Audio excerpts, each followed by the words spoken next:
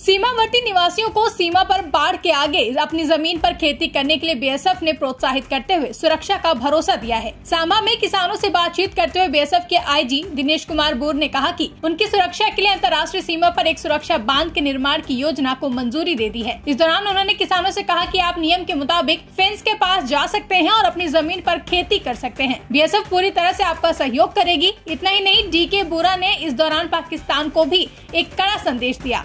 आप भी सुनिए। कुछ आपके पॉइंट्स बताए गए थे जो माइक से।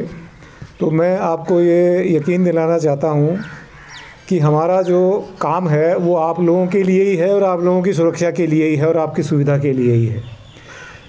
कुछ नियम कायदे कानून होते हैं जो हमें ऑब्ज़र्व करने पड़ते हैं, क्योंकि बीएसएफ सिर्फ़ यहीं डिप्लॉयड नहीं है। बीएसएफ पंजाब में भी है, राजस्थान में भी है, गुजरात में भी है, बंगाल में भी है, असम में है, मेघालय में भी है, त्रिपुरा में भी है, मिज़ोरम में भी है। सब बॉर्डर पे है और सब बॉर्डर पे फेंस लगी हुई है। और फेंस के आगे जाने का और पीछे आने का एक तरीका होता है, उसके लिए कुछ नियम बने हुए हैं, उसका पालन हमें भी करना होता है, वो आपको भी करना होता है। क्योंकि बिना नियम कायदे कानून के तो कोई काम हमारा चलता नहीं है। दूसरा ये है कि मैं चाहूँगा कि आप सभी लोग आगे जो ज़मीन है फेंस के, उसमें खेती करें। बीएसएफ आपको पूरा सहयोग देगी और लेकिन कुछ नियम कायदे कानून होते हैं फेंस के आगे जाने के, पीछे आने के, उसका पालन सबको करने की ज़रूरत है। वो पंजाब में भी हो रहा है, राजस्थान में भी हो रहा है, गुजरात में भी हो रहा है, सब जगह हो रहा है। वो एक ही नियम है सबके लिए, किसी के लिए कोई अलग नियम नहीं है। तो उसके लिए यहाँ पर, क्योंकि जो आगे खेती है फेंस के, उसमें ज़्यादा इरिगेशन नहीं होता है। मतलब सिंचाई का काम ज़्यादा नहीं होता तो इसलिए बहुत ज़्यादा आपको आने जाने की भी ज़रूरत नहीं है। फ़सल की बिजाई के समय आप जाएँगे, थोड़ी बहुत देखभाल के लिए जाएँगे और फिर कटाई के लिए जाएँगे। तो उसके लिए आपको पूरी सुविधा दी जाएगी बी एस आपकी सुरक्षा भी करेगी। और अगर आप सोचते हैं कि आगे लगाएँगे, हो सकता है कि हालात ख़राब हों, कि फ़सल फिर काट पाएँ, नहीं काट पाएँ तो उसके लिए हम यकीन दिलाते हैं, ऐसी सिचुएशन हम नहीं आने देंगे। अगर हमारी फ़सल नहीं कटेगी तो हम सामने वाले के भी नहीं कटने देंगे।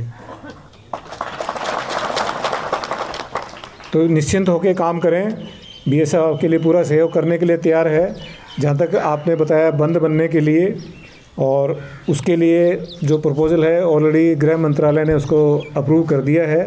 उसके लिए जैसे जैसे फंड्स आते हैं, उसी प्रकार से वो आपके बनता जाएगा। तो मेरी उम्मीद है कि अगले चार पाँच साल में हमारा पूरा बॉर्डर ऐसा होगा जिसके ऊपर बंद बना हुआ होगा और उसके पीछे आराम से आप अपने खेतों में काम कर पाएँगे। अगर कोई फायरिंग वगैरह होती भी है तो किसान जो खेत में काम कर रहे हैं, उनके ऊपर सीधा असर उसका नहीं पड़ेगा और अपना छुपाव या आड़ लेने का मौका आराम से मिलेगा।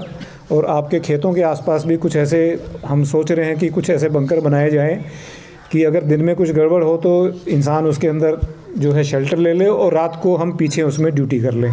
तो दोनों का मिला जुला काम ऐसा हो सकता है। ब्यूरो रिपोर्ट, इंडिया पब्लिक खबर। फ़िलहाल के लिए इस खबर में बस इतना ही। देश और दुनिया की ऐसी ही तमाम बड़ी खबरों के लिए हमारे यूट्यूब चैनल को सब्सक्राइब करें और बने रहें इंडिया पब्लिक खबर के साथ।